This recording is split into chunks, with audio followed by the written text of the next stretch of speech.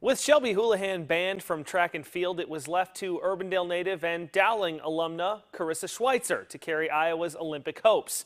Schweizer came through on Tuesday by qualifying for Tokyo in the 5,000 meters. This morning in the heat in Eugene, Schweizer tries to make Team USA in the 10,000 as well.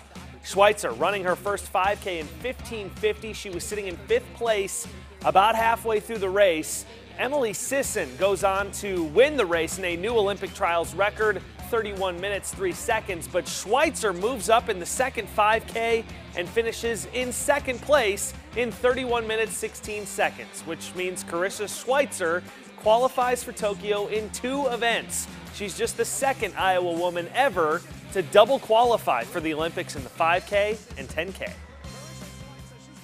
I hope to double. I mean, that's, that's a brutal race to run, not to race it. So um, I'm excited to have qualified and have the opportunity to evaluate that. I think the 5K is really my focus, um, but I would love to run the 10K. I think it's a really new event for me, and I really want to like dip my toes into that. Incredible. I mean, I've looked up to all of them for so long, and I mean, never would I've thought making one team, let alone two, would be in my future. So I'm really grateful for it, and um, really attribute a lot of that to my coaches.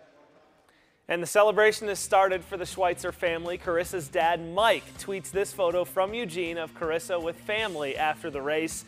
It was a pretty great week for Karissa Schweizer.